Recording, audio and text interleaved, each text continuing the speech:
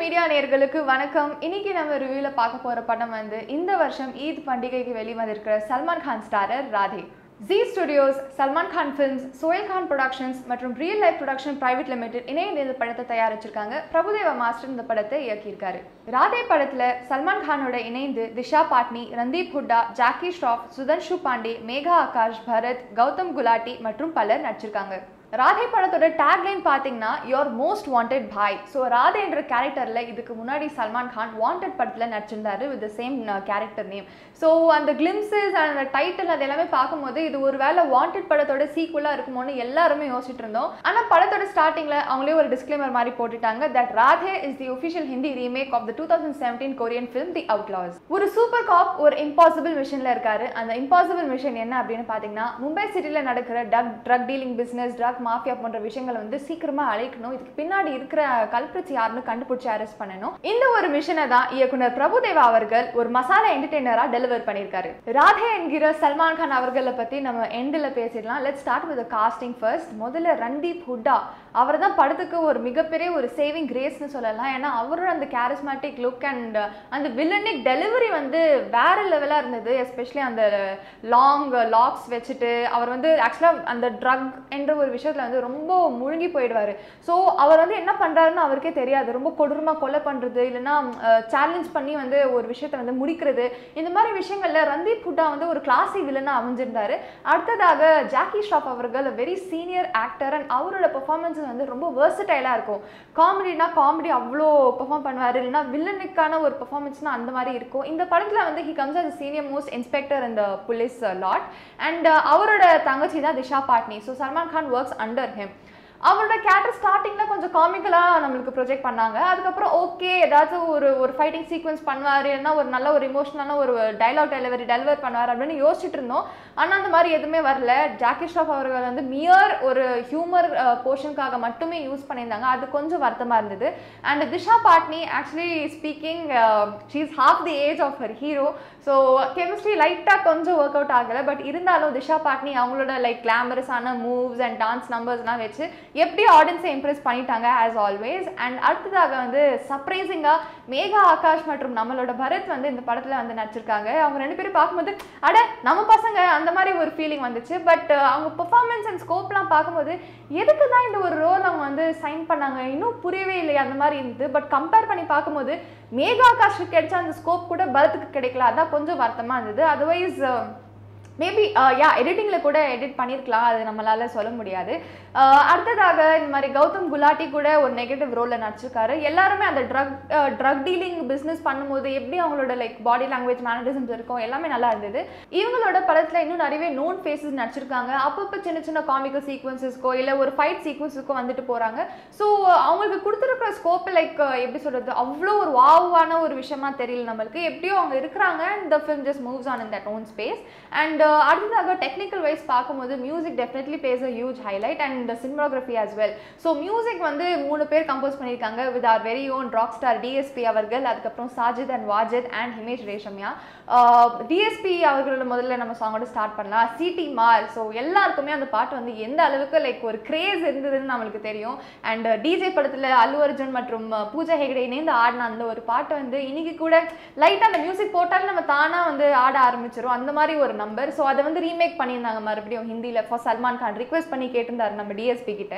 So அந்த பாட்டு அந்த விஷுவலைசேஷன் எல்லாமே பார்க்கும்போது ஒரிஜினலில் பார்த்தவங்க வந்து இந்த பாட்டு பார்க்கும்போது கண்டிப்பாக அவங்களுக்கு இந்த ஒரு ரீமேக் வந்து பிடிக்காது. ஏன்னா ஒரிஜினலில் நம்ம ஹீரோ சார் வந்து அந்த அளவுக்கு ஹெவியான ஸ்டெப்ஸ்லாம் போட்டு பயங்கர ஸ்டைலிஷாக ஆடிருப்பாரு பூஜா ஹேகரே வந்து கொஞ்சம் கிளாம்லாம் காட்டிட்டு அப்படியே ஏதோ மேனேஜ் பண்ணியிருப்பாங்க.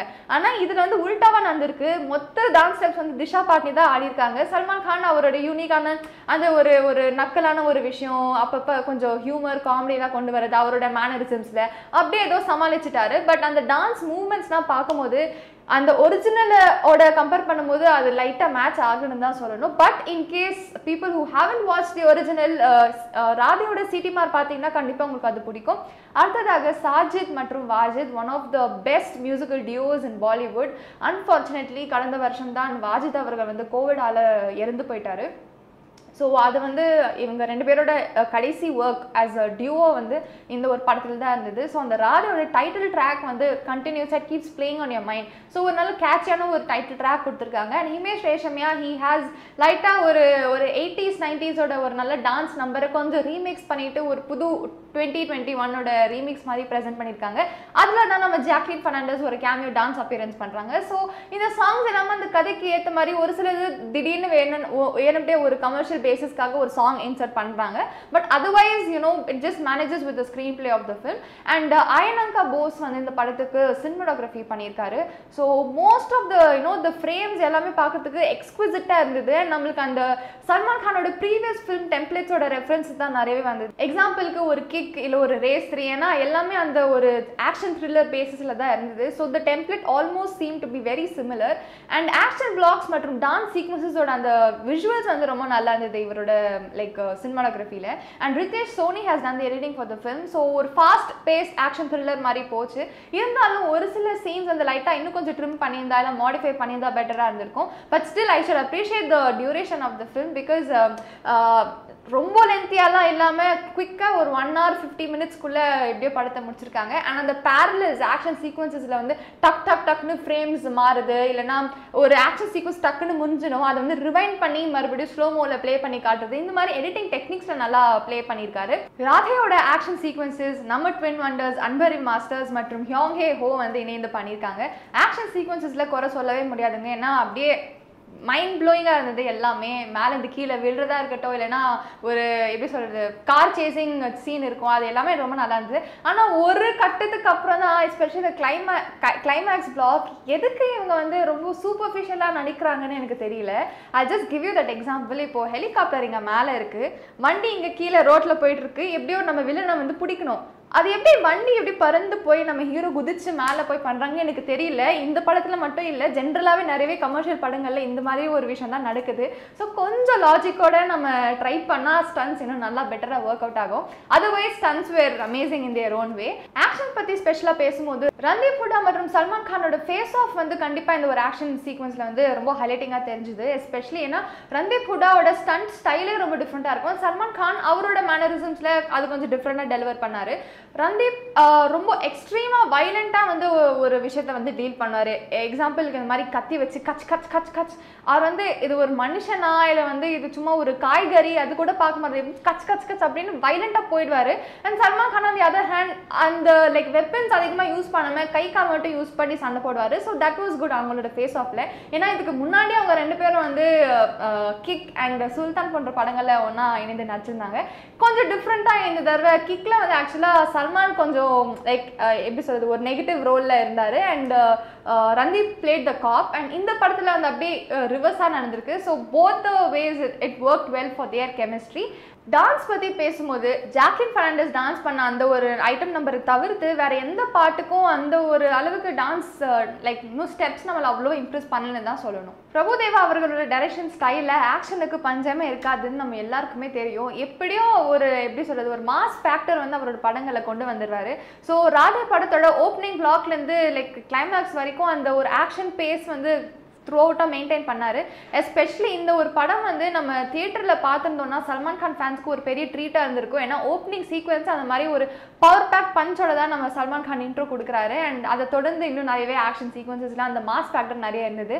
அண்ட் சல்மான் கானோட ஃபேன்ஸ்க்கு பிடிக்கிற மாதிரி நிறையவே பஞ்ச் டைலாக்ஸும் படத்தில் வருது. And that has been director in a very good way and அந்த ஒரு டயலாக் இருக்குல்ல இப்போ நம்ம தமிழில் போக்கரி பார்த்தோம்ல ஒரு தடவை நான் முடிவு பண்ணிட்டா என் பேச்சை நானே கேட்க மாட்டேன். ஸோ அதே ஒரு டைலாக் ஹிந்தியில் ஆக்சுவலாக வரும். ஸோ அந்த ஹிந்தி டைலாக் வந்து ஸ்டார்டிங்கில் ஒரு தடவை எண்டிங்கில் ஒரு தடவை சல்மான் கான் வந்து சொல்வார். ஸோ அது சொல்கிற விதம் கூட மறுபடியும் நம்மளுக்கு அந்த வாண்டட் டேஸ்க்கு கூட்டிகிட்டு போயிட்டார் நம்ம பிரபுதேவா சார் அவரோட டைரக்ஷன் ஸ்டைலை நம்ம குறை சொல்ல முடியாது. ஏன்னா ஸ்க்ரீன் பிளே அமைஞ்சிருக்கிற விதம் வந்து அப்படி. ஏசி முகில் மற்றும் விஜய் மௌர்யா இணைந்து ஸ்க்ரீன் பிளே மற்றும் டைலாக்ஸ் எழுதியிருக்காங்க. ஸோ லைட்டாக ஆக்சுவலாக நம்ம வந்து கமர்ஷியல் படங்களில் லாஜிக் எதிர்பார்க்குறது ரொம்பவே தப்பு ஆஸ் அன் ஆடியன்ஸ் ஸோ அந்த ஒரு ஃபேக்டர் வந்து இந்த படத்தில் நிறையவே இல்லை.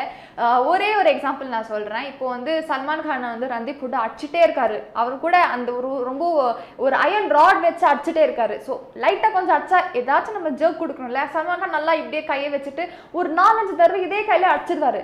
அடிச்சதுக்கு அப்புறமா இதே கையில ரன்தீப் புட்டாவை சல்மான் கான் அடிப்பாரு. இதுதான் என்னடா இது? அநியாயமா தெரியல தெரியலையாடா? அந்த மாதிரி நம்மள வந்து ரியாக்ட் பண்ண வச்சுட்டாங்க. ஸோ இந்த மாதிரி லாஜிக்கல் மிஸ்டேக்ஸ் uh, வந்து கொஞ்சம் அவாய்ட் பண்ணியிருந்தா படம் இன்னும் நல்லா வந்திருக்கும். Otherwise this only seems to be like a time pass entertainer finally coming to our most wanted Bhai Radhe அதாவது நம்ம சல்மான் கான். ஸோ கடந்த ஒரு சில வருஷங்களில் அவரோட ரிலீசஸ் வந்து அவ்வளோவா லைக் பாக்ஸ் ஆஃபீஸ் கலெக்ஷன்ஸாகவும் சரி கிரிட்டிக்ஸ் வைஸும் சரி அவ்வளோவா பேசப்படல. சல்மான் கான் எப்போவுமே ஈத் பண்டிகைக்கு அவரோட ஃபேன்ஸ்க்கு ஒரு மிகப்பெரிய ட்ரீட் கொடுப்பாரு த்ரூ ஹிஸ் ஃபில்ம்ஸ் அண்ட் அவரோட லாஸ்ட் பெஸ்ட் ஈத் ரிலீஸ் அப்படின்னு பார்த்தீங்கன்னா டூ தௌசண்ட் சிக்ஸ்டீனில் வெளிவந்து சுல்தான். அதை தொடர்ந்து அவரோட ஈத் ரிலீசஸ் பெருசாக அவ்வளோவா லைக் பிஸ்னஸ் பண்ணலை. பட் அவரோட கிறிஸ்மஸ் ரிலீஸ் டூ தௌசண்ட் செவன்டீனில் வெளிவந்த டைகர் ஜிந்தாக மிகப்பெரிய ஒரு ஓப்பனிங் கிடைச்சது. அண்ட் நல்ல ஒரு ரீச் இருந்தது இன் தி ஆடியன்ஸஸ் சல்மான் கானோட ஸ்கிரிப்ட் சாய்ஸஸ் கடந்த ஒரு சில படங்களில் சரியா இல்லை. ஏன் அப்படின்னு பார்த்தீங்கன்னா நான் அந்த படங்களோட ஸ்கிரிப்டில் லாஜிக்கே இல்லை. பட் இந்த ஒரு படம் இந்த படங்கள்லாம் பார்த்ததுக்கு அப்புறமா ராதே பார்க்கும்போது okay it's a better film compare to the other previous films தான் சொல்லணும். ஏன்னா அவரோட ஃபேன்ஸ்க்கு தேவையான அந்த ஒரு என்டர்டைனிங் ஃபேக்டர் வந்து இந்த படத்தில் கண்டிப்பாக இருக்குது அண்ட் நாட் டு ஃபகேட் அவரோட அந்த சிக்ஸ் பேக் ஆப்ஸ் வந்து காட்டுறதா இருக்கட்டும். இந்த படத்தில் கொஞ்சம் டிஃப்ரெண்ட்டாக அவரோட வீட்டை பார்க்க முடியாமல் இருந்த ஃபேன்ஸுக்கு வந்து அவரோட வீட்டோட ஃப்ரண்ட் வியூ வந்து ஒரு காமிக் காமிக்கல் சீனில் காட்டியிருக்காரு. ஸோ ஓகே சல்மான் கான் வந்து புதுசாக ஏதோ அட்டம் பண்ணுறாருப்பா அந்த மாதிரி ஒரு ஃபீலிங் தான் வந்தது.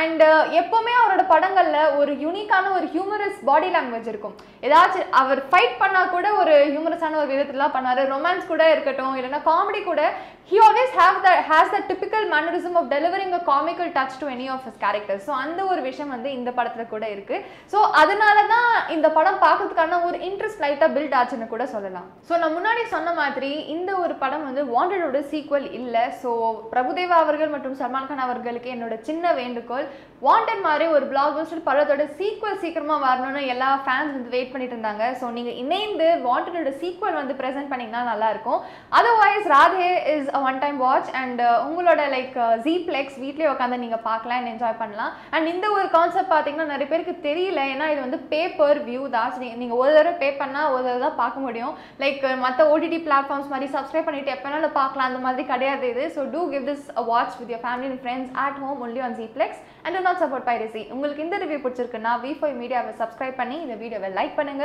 உங்க எல்லாரையும் மீண்டும் இன்னொரு இன்ட்ரெஸ்டிங் ரிவ்யூட சந்திக்கும் வரை this is Paras Riya signing off V five media and wishing all my friends a very happy Eid